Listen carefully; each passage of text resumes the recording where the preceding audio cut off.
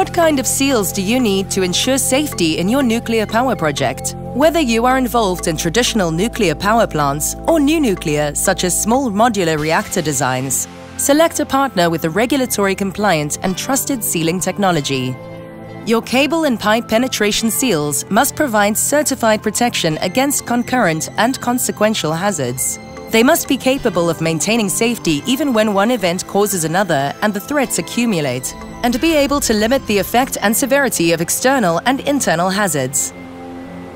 Roxtec modular-based cable and pipe transits protect control cabinets and provide high-end electromagnetic shielding as well as robust bonding and grounding. And they are as easy to use on a construction site as in an SMR factory for serial production.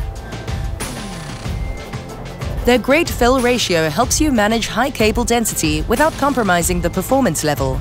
The seals adapt to cables and pipes of different sizes, allow for changes and provide spare capacity for expansion. Bolted, cast or welded, Roxtec seals can be used in any separation barrier and provide immediate performance without any need for time-consuming drying or curing. They play a key role for securing equipment and backup systems for full redundancy and diversification. They may be small modular components in a huge plant or a series of small modular reactors, but they add flexibility and scalability to your project, as well as protection to all layers of conventional defense.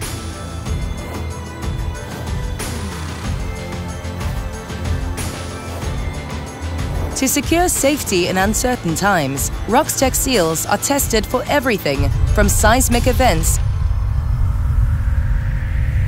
effects of lightning strikes and electromagnetic interference,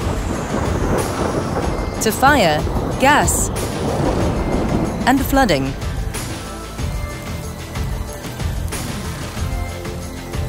They add blast protection, prevent partial discharge failure on switchgear, and limit the effect of an arc flash.